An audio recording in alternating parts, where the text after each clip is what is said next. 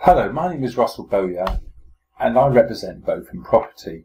And today I'm going to be talking about how many months mortgage arrears before repossession in the UK. What I'm going to talk about today is a healthy property market in your area and whether that affects being repossessed or not. Also, how many months mortgage arrears before repossession. I'm also going to be look at, looking at the first missed mortgage payment. Then I'm going to look at the fee of repossession after going into arrears. Followed by banks, we'll talk about how banks actually don't want to repossess your home. And then I'm going to look at the repossession rules that mortgage lenders must follow. Followed by, or finally closing on, help is at hand if you find yourself in arrears or facing repossession. So let's have a look at just because it's a healthy property market in your area. So just because it is a healthy property market or your property market is buoyant where you live, it doesn't mean that repossessions don't happen because they certainly do. But the key here is to make sure you keep up your mortgage repayments. And the, the clue is actually there. So in other words, if you have a mortgage, your property isn't actually yours. You'll soon find that out when you don't repay or you miss a mortgage payment because you'll have a letter land on your doorstep from your mortgage company. And if you continue to miss payments, ultimately they can repossess your home. So just be aware that while you have a mortgage on your house, technically it's not your property. Repossession uh, in a situation where it's a buoyant market um, can be led from uh, as a result of losing your job or from being made redundant where you don't have the money to keep up the repayments on your mortgage. It can also happen as a result of an injury or perhaps a serious illness like cancer, which makes it difficult to work. And then if you're not earning any money, then you can't keep up your mortgage repayments. But in that situation, it does very much depend on how, how your employer will work with you and, or whether they will give, continue to pay you whilst you are either ill or um, recovering from your injury. But of course, if you are able to speak to your employer to see if they will support you while you're going through this difficult time. Divorce is also another trigger that can lead to repossession. And um, sometimes when you're going through divorce, uh, all the arguments and uh, everything that goes on, it, what can happen is that there's fights over who's going to pay the mortgage, and sometimes that leads to the fact that neither party pays it, get into uh, arrears, and you end up fighting over the money, and none of the money ends up going to the mortgage company, and they are left with no, no other choice but to repossess you. But always note that it's never too late to take control and to seek help because it's never too late, except for obviously once they have repossessed you, to take control of the repossession process and to stop it from happening. So let's have a look at how many months mortgage arrears before repossession. But before I do that, the important phrase that you may well be familiar with um, and points to the fact that your home isn't actually yours when you've got a mortgage on it is the phrase that says your home is at risk if you don't keep up repayments on a mortgage or other loan secured on it. In other words, if you stop repaying your mortgage, they can repossess that house. It's important to also note that one mortgage payment, one sorry, one missed mortgage payment does begin the, the repossession process. However, they're not able to start that process until such time as you've missed three uh, payments, the banks have an agreement between them that that's how it will work. However, the actual process starts because what will happen is when you miss a payment, a letter will be automatically produced uh, from the bank and that will land on your doorstep. Of course, subsequent missed mortgage payments will continue the process and, and as you continue to not pay your mortgage, more letters will turn up and if you ignore those, that's the worst thing that you can do. But it, in reality, it will take several months and many missed payments before repossession actually happens. But that shouldn't um, make you feel, um, or well, that shouldn't leave you thinking, well, you can ignore it because you can't. The sooner you uh, deal with it and the sooner you start speaking with your bank and writing to them, the better. because that will go in your favour if it ever gets to court. And talk about courts, in order for a bank to repossess your house, they do actually need to obtain a court order, and in order to do so, they need to go to court, and that in itself will take time to do. But that doesn't mean to say that you rest on your laurels in the meantime. Work with your mortgage lender, correspond with them, and you could, well, you should well be able to stop that from happening. It's also important to understand that banks actually don't want to repossess. They want to work with you, and you know, by you sticking your head in the sand and ignoring the letters, that won't help. So they want you to call them, they want you to write to them, but seek help from outside people, and we'll come on to that in a minute.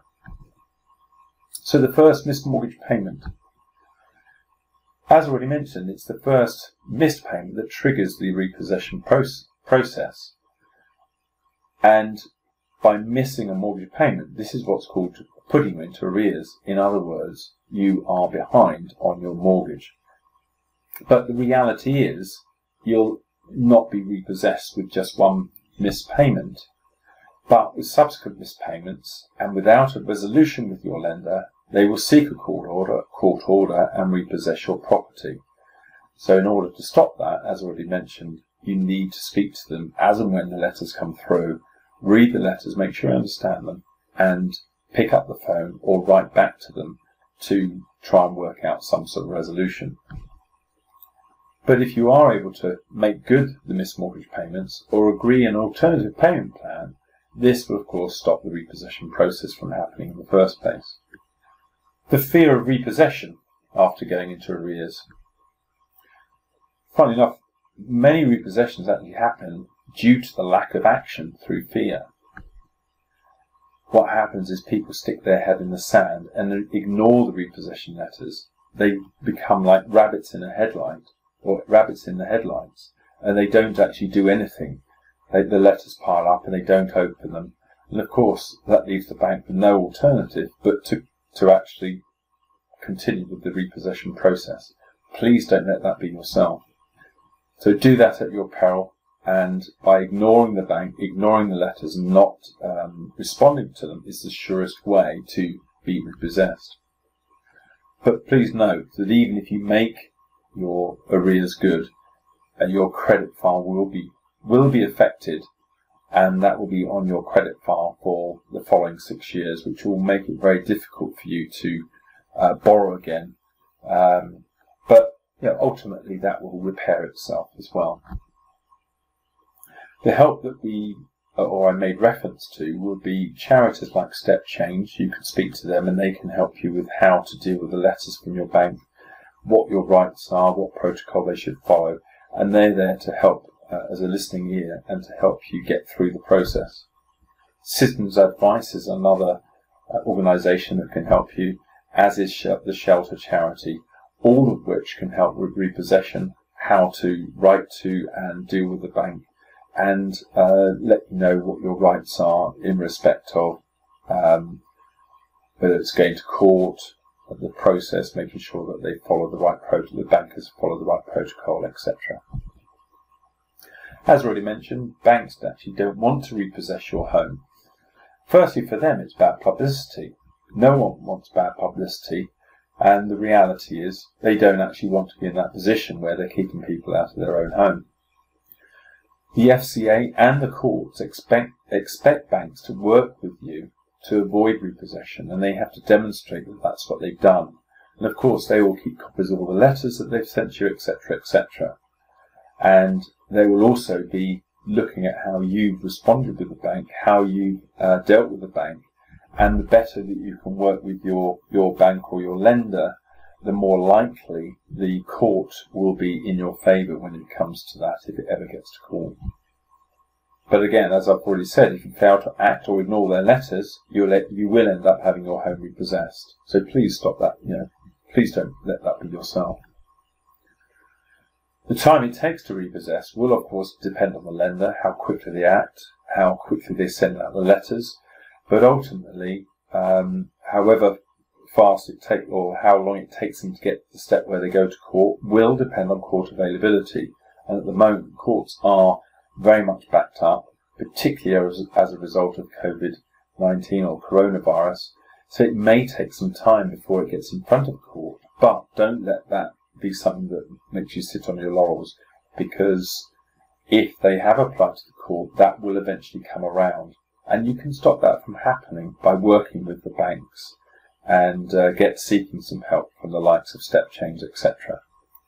So as I said, seek help, don't ignore the letters, and also try and pay something towards your mortgage. That will be uh, shown in good light, certainly from the court's point of view, and also the lender. At least they'll see that you're making an effort to try and keep your mortgage uh, or pay something towards your mortgage. That always um, goes down very well. Let's have a quick look at the rules uh, around repossession that mortgage lenders must follow. So banks have a um, an agreement in place that they can't repossess a home until after three months mortgage arrears have occurred. The lender themselves must also refer you to take independent debt advice, and that advice can be from the likes of StepChange, um, Shelter, etc., etc. But also, you probably also want to seek, um, seek help from someone who's regulated by the FCA, who could talk you through how you can perhaps restructure your debt. Um, something that we're not allowed to do because we're not FCA regulated. But if you speak to someone that is, they can help you in this, in this regard. The bank must treat you fairly, but they must also consider any proposals that you make for repaying the mortgage, uh, which you might do after seeking, seeking independent uh, debt advice. Uh, for example, whether that's um, looking at changing how the mortgage is repaid from a repayment mortgage to interest only, repayment holidays, and all these sort of things that you possibly can do, or adding the arrears to your mortgage at the end. Um, all of these considerations the bank will take into account, and they have to consider them. And by putting those to the bank, uh, and if they ignore them and take you to court, the court look at those themselves and that may prevent repossession from actually happening or a court order for repossession to happen happening. The actual letters and communication from the lenders must be easy to understand and you must respond within a reasonable time frame. But of course, if you don't understand those, that's why you can go to the likes of Citizens Advice or step change, because they will help you to interpret those letters and to uh, work with you in order to work out how you respond. The other thing that you can have a look at to see whether you're eligible is to apply for support for mortgage interest. If you've not heard of that before, the, probably the best thing you could do is to do a Google search on those that word those words there, support for mortgage interest. Have a look on the, the website that comes up and see if you are eligible for that type of support. Not everyone is, but you might be. And if you have applied for that, during that time, the mortgage lender cannot commence court proceedings because while you're going through that process, it means that you're trying to find support to see how you can keep repaying your mortgage. And as already mentioned, in order for the bank to repossess you, they have to get a court order. And they'll only be granted such an order so long as they follow correct procedures and protocols as already explained. If they don't, the court will not order in their favour. But equally on the other side of that coin is that you must also show that you've worked as hard as you can and worked with the bank to try and avoid repossession happening. But if you've stuck your head in the sand, ignored all the letters, and not tried to put any proposals forward, the court may be put in a position where they've got no alternative but to order repossession. Also, it's noted that currently during coronavirus or COVID-19, which is happening as I'm um, going, uh, talking right this at this point, repossessions are actually on hold, and they're on hold at this point until October 2020.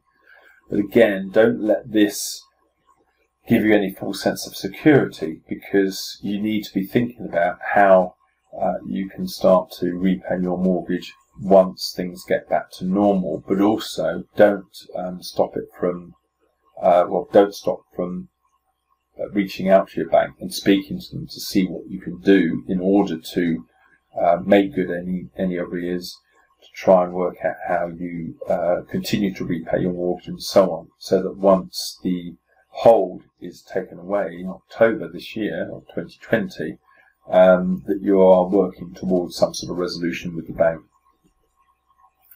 And already alluded to it during the course of um, what I've been talking about here, that help is at hand. Um, and that's the likes of Step Change Charity, Shelter, and uh, Citizens Advice. But there are also companies out there that um, are set up to help you, uh, but make sure that they are registered with the FCA.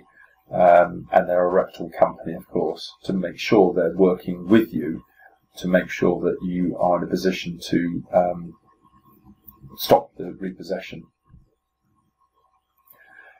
Also, it's important to point out that you need to help yourself.